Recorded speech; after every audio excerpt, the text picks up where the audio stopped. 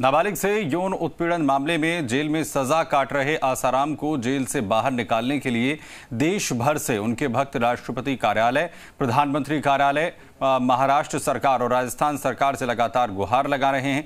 देश भर में अलग अलग विभागों में परिवाद भेजकर आसाराम को रिहा करने की अपील की जा रही है।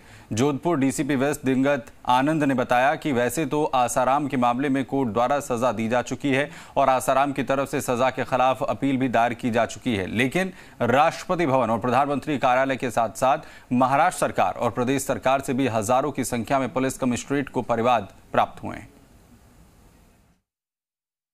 इससे बड़ा चमत्कार क्या चाहिए?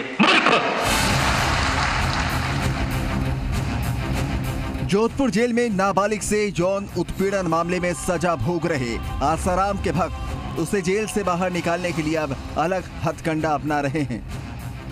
आसाराम के भक्तों ने राष्ट्रपति और प्रधानमंत्री के साथ साथ महाराष्ट्र और राजस्थान सरकार से परिवाद भेजकर रिहा करने की अपील की है। इन परिवादों में आसाराम के निर्दोष होने और कोर्ट द्वारा जमानत और पेरोल नहीं देने समेत कई बिंदु लिखित शिकायतें भेजी गई हैं, जिसकी जाँच पुलिस के अधिकारी कर रहे हैं। आसाराम के भक्तों द्वारा लगाए गए परिवाद में आसाराम को एक संत के रूप में बताया जा रहा है और उनकी उम्र और बीमारी का हवाला देकर उन्हें जेल से बाहर लाने के प्रयास किए जा रहे हैं। हालाँकि आसाराम की सुप्रीम कोर्ट तक से जमानत खारिज हो चुकी है और पुलिस द्वारा भी उनके खिलाफ चालान पेश किया जा चुका है और उन्हें सजा भी हो चुकी है। ऐसे में पुलिस की तरफ़ से इस मामले में कुछ भी नहीं किया जा सकता। इस संबंध में एक भारी संख्या में परिवार अब तक जोधपुर ज़िले में प्राप्त हो चुके हैं, जिनमें सभी में अलग अलग तरह के ज्ञापन हैं अलग अलग तरह की मांग है, जिनमें मुख्य मांग ये है कि जो सजा याफ्ताबंदी है, श्री आसाराम, उनको या तो रिहा किया जाए, या उनको पेरोल पर पे रिहा किया जाए, क्योंकि उनका स्वास्थ्य खराब है, या क्योंकि उनके जो अनुयायी हैं, उनको, उनकी आवश्यकता है, इस तरह की डिमांड होती है।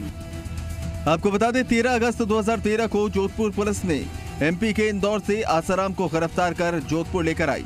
इसके बाद उनकी मेडिकल जाँच करवाई गई। लंबी गवाही प्रक्रिया के बाद साल 2018 में एस सी एक्ट न्यायालय में जिरह पूरी हुई। इसके बाद अदालत ने आसाराम को 25 अप्रैल 2018 को नाबालिग से दुष्कर्म का आरोपी मानते हुए आजीवन कारावास की सजा, यानी जीवन पर्यंत जेल में रहने की सजा सुना दी। इसके बाद से ही आसाराम जोधपुर सेंट्रल जेल में बंद हैं। अरुण हर्ष, जी मीडिया, जोधपुर।